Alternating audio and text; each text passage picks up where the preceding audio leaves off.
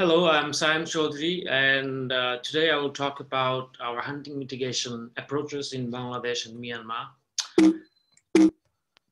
We all know that um, the shorebirds are facing two major problems across the East Asia Australasia flyway. One is habitat loss, of course, and hunting um, uh, in, in almost all the wintering countries, especially in Bangladesh, Myanmar, and uh, South China. So I will tell you what we are doing in Bangladesh and the magnitude of this problem um, in Bangladesh as well. So earlier last year, we did a project with BirdLife International in order to identify uh, the number and species of birds that are being uh, hunted or otherwise illegally killed throughout the country, uh, basically taken uh, from the wild.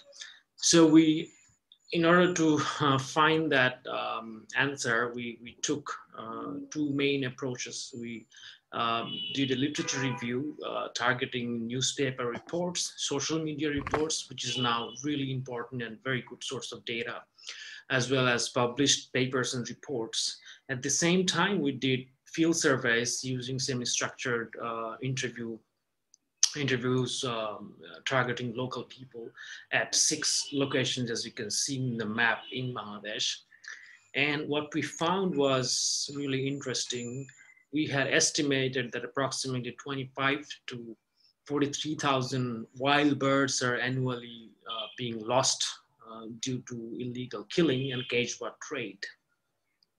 And there are many, um, many ways that these, these birds are um, being killed or taken from the wild is, uh, you know, this predator control, this recreational hunting.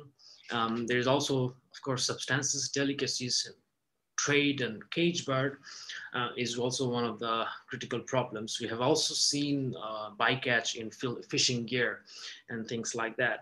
Um, so in the in the graph to the right, um, I have listed uh, species that are uh, basically targeted by uh, the, the cage bird industry. And these are the top 15 species. As you can see that starting from rose-winged parakeet to jungle myna, everything is being traded. Um, and a lot of these data sources are actually from the forest department um, uh, social media page where people report um, um, wild bird uh, being traded and then they go and collect those uh, and then put, put, put a post on social media on, on their uh, results. So I will uh, mostly focus on what we are doing on spoon-billed sandpiper conservation in Bangladesh, uh, especially on hunting mitigation. So our project is called Bangladesh Spoon-billed Sandpiper Conservation Project that I lead. Um, we mainly um, focus on the key shorebird sites in Bangladesh um, uh, we monitor the coastal sites, as you can see on the map, um, yearly, and some of the sites we do that monthly. Uh, we work with the government to designate new protected areas. We try and find uh, new um, spoon-billed sandpipers and other shorebird sites. We also do outreach and education, but today I will only focus on hunting mitigation side of that. And after that, I will focus on uh, what we're doing in Myanmar. So shorebird hunting uh, on Sonadia Island, uh, we have first noticed it in 2010 when we were doing surveys.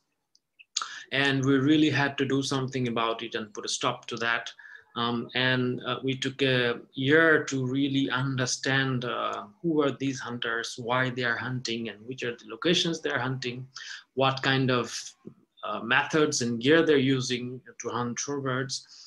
Um, and we did a thorough survey targeting local people and it took us an entire year to really understand what's going on. And some of them have actually claimed to have captured spoon-billed sandpipers.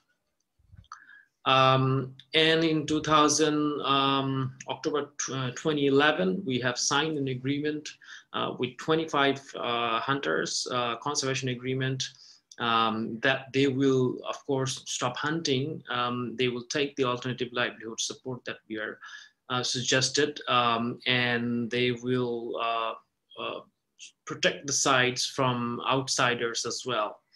Um, and the next slide I will tell more about. So this is how it works. Um, so basically we didn't give any of the hunters any money. We bought them the livelihood support um, that they wanted. Some of them wanted fishing boat and net. We had provided them with that. Some of them wanted poultry and um, you know tailoring shop and things like that. So we uh, we worked with the village conservation groups uh, who are basically um, you know village um, leaders, uh, a team of leaders who worked with us uh, in this project. Um, so we uh, had uh, identified with the support uh, of the village conservation group, had identified the alternative livelihood support, and with the uh, with with the with our project and the village conservation group, we had provided the hunters with these supports.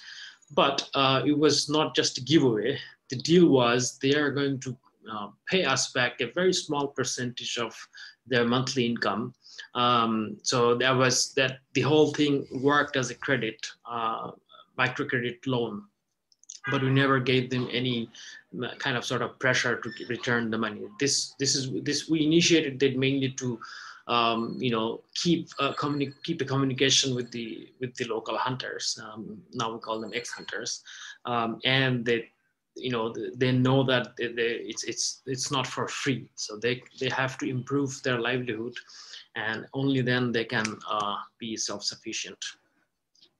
Not only that, we had worked with um, a wide variety of uh, different stakeholders, including um, local children, local women.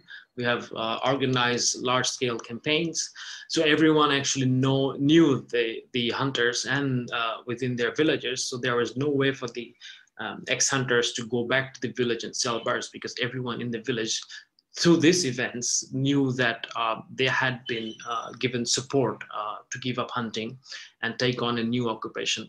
At the same time, hunting is is not um, is of course illegal. It's not a very respect, respectable uh, occupation. So the hunters gladly took uh, what we had offered. Um, so we also did uh, a boat race that was quite um, effective, I would say. Um, and you can see uh, this in this image, this billboard was basically um, constructed with the money that we had received from the uh, ex-hunters. So basically they had, uh, we had 80%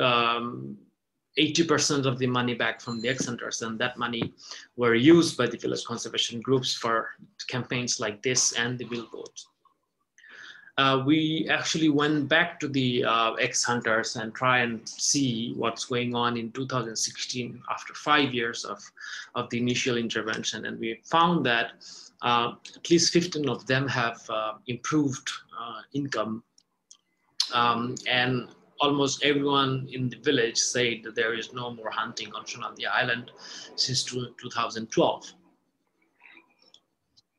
So in in Myanmar, we um, focus mainly uh, in, in Gulf of Mottama um, here and um, Island here. And the work is primarily being conducted by Banca, who has been uh, the uh, partner of this Spoon-billed Sandpiper Task Force for a long time now.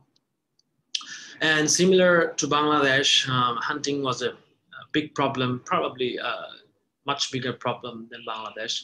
Um, and it was discovered uh, in 2009 and 10 uh, that you know people or local people were uh, taking a large number of shore migratory shorebirds from these areas and the methods they mostly used was mist nets um, also noose traps so mist net is actually more uh, devastating than the noose traps because they could get a large number of birds in one go. In Bangladesh, people mostly use noose traps.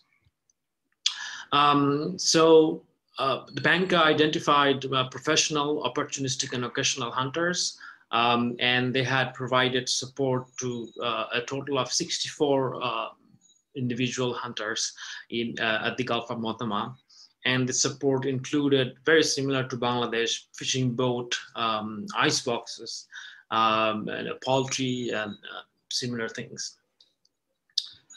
At the same time, uh, Banca did uh, other community-based development work that would actually uh, support the entire community, not only individual hunters.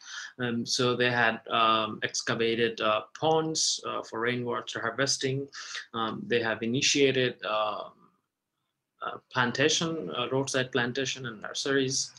Uh, um, also, there was involvement of local conservation groups in various events organized by Banca um, over the last 12 years uh, in different parts of Gulf of Mottama. So the local communities really, uh, now they really understand the value of the spoon-billed sandpiper and the supports they had received because of that. Um, and you can see that here is an image of the spoon-billed sandpiper that was um, captured, uh, taken from one of the villages at the Gulf of Mottama. Um, Banca is also part of SIPA. It initiates uh, large-scale campaigns targeting local school children um, and many other different stakeholders. Um, so this is also quite important. Um, law enforcement because you you know you support the hunter and um, you give them livelihood support but there has to be some kind of um, legal pressure as well.